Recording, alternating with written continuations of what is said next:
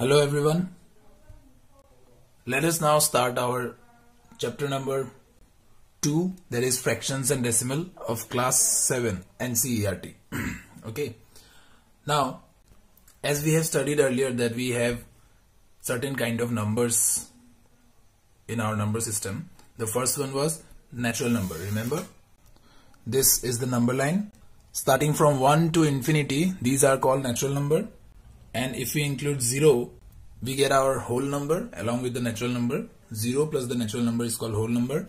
Now in the first chapter we have studied that if we consider the negative number also then the number system this number system is called integers. Yes?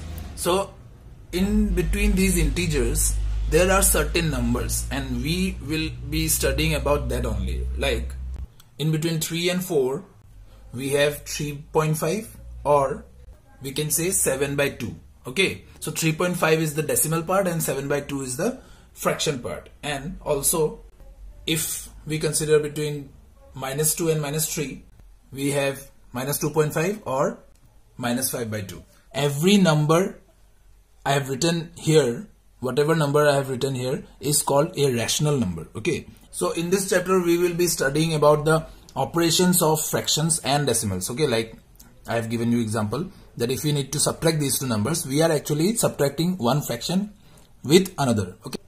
And one more thing you need to understand here that 14 by 4, if I write 14 by 4, this is actually a fraction and it is not a rational number because the rational number of this number will be actually the simplest fraction okay the simplest fraction of this fraction is will be called as rational number and this is just a fraction this is not a rational number you have to understand this difference okay? Now let us directly start our 2.1 exercise in which question number one, first part is to solve these two numbers these two fractions and similar question we have done in class 6 also. So what we need to do actually we need to understand that there is a 1 denominator of every number okay? So we need to take the LCM of 1 and 5 so what will be the LCM of 1 and 5 that is 5 yes so we'll write the LCM as a common denominator of the answer and then we will multiply uh, we will divide this LCM with 1 so 5 divided by 1 will be 5 and that number whatever we get will be multiplied with the numerator. Like this. Understood? And then the next step we need to divide this LCM with the later denominator and 5 divided by 5 that will be 1 so that 1 will be multiplied with the numerator here. So I hope you have understood the concept here how to subtract or add. In addition also we can do the same method here. So our answer will be 7 by 5 understood? Now this is one method uh, that I am showing here to find the LCM okay. Now another method is there. I will show you in the next part so it is same as the earlier question. Now we know that there is 1 okay and we know that the LCM of 1 and any number will be that number itself only. So we know that LCM will be 8. So we will skip that part and we will directly multiply 8 with this one. Just like we do in mixed fractions. Remember the solution of a mixed fraction? Understood? Like this? You can see one thing here. This 4 plus 7 by 8 is actually 4 7 by 8 only. This is just like solving the mixed fraction only. Now let us understand one more method here.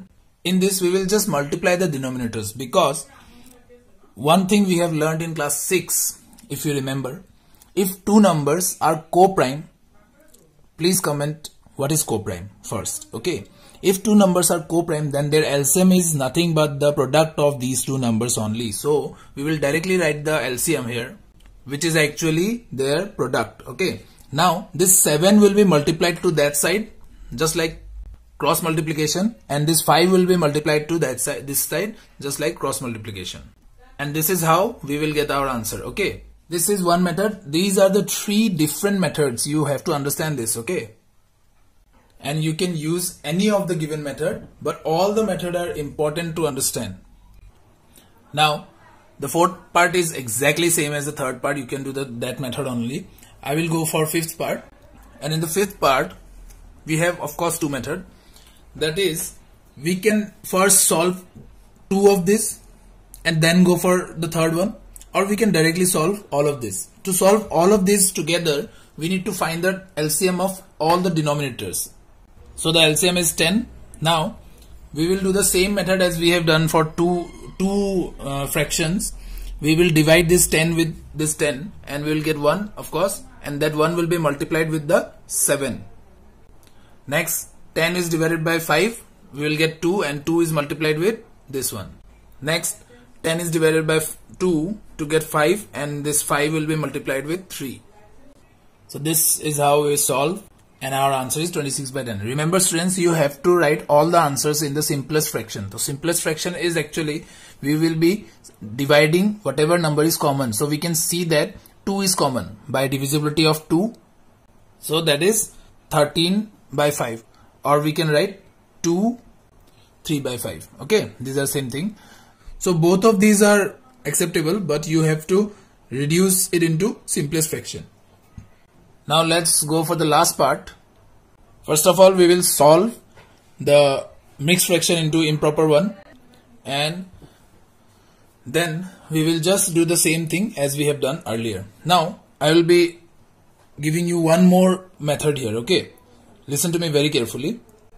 As we can see that 2 and 8 8 is divisible by 2 yes so if a number is divisible by another number, then the LCM of them will be the greater one actually.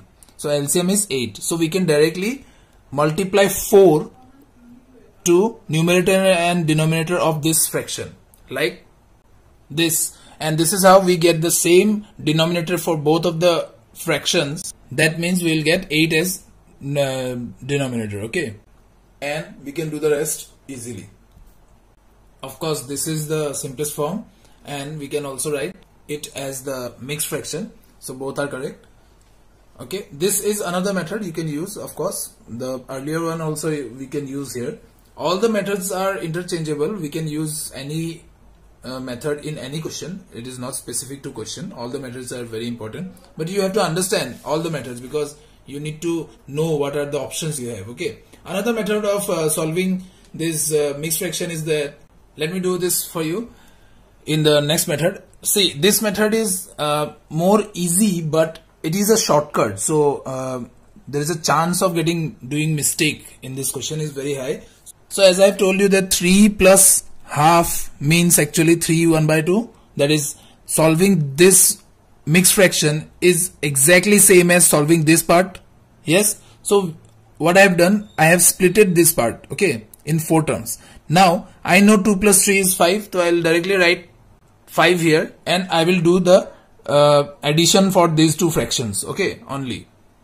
Understood? Now these two will be solved just like this and now we can solve this question and we will get the answer is 37 by 6 so it is on the lowest form and we can write it in mixed fraction also like this. So this is the required answer I hope you have got the question number one part. Now let's move on to question number two. In this question, we need to arrange the following in descending order or ascending order doesn't matter. We need to compare the fraction between, uh, we need to compare the fraction which one is greater and which one is smaller here. Okay. So for that, the process is exactly same as question number one. Just we are not adding here, we are just comparing.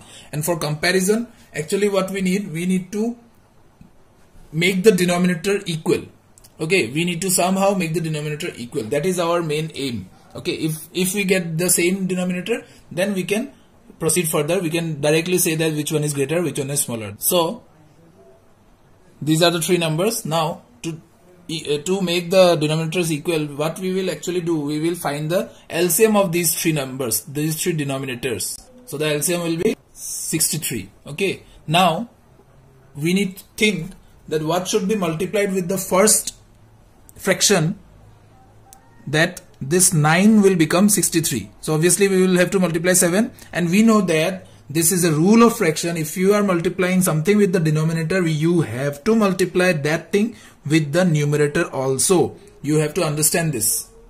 Like this so this fraction will become 14 by 63 okay and the next one what should be multiplied with 3 to make it a 63 that is 21 right? And when we are multiplying with the denominator we have to multiply with the numerator also. Then we will get our fraction to be okay now the denominators are same. Now in the next part also we need to check what should be multiplied with 21 of course we have done this that. So this eh, will be our new fraction okay? Now all the denominators are equal. So the number which will have a greater numerator will be greater and the fraction which will have smaller numerator will be smaller okay so we can obviously see that 42 is largest number, then comes 24 and then smallest number is 14. So 2 by 3 is the greatest one and then 8 by 21 and then 2 by 9. So you have to write like this. This is the descending order. Okay. I hope you have understood the concept. You can do the second part by yourself. Now next question is question number 3 in which we need to see that whether the given box is a magic square or not. And we have learned in our class 6 that what is a magic square. We need to do the sum of all these rows and columns and diagonals. If it is equal then it is a magic square. So adding the first row we get 15 by 11 for the next one also 15 by 11 and we can see each row gives us 15 by 11 next the addition of the column is also equal. Now let us check the diagonals. That is also equal. Therefore it is a magic square. One thing you need to understand that I have done this in shortcut manner. You have to write like uh, row number 1 row number 2 and you have to show the process of addition okay? Now from question number 4 it's on the next video. Thank you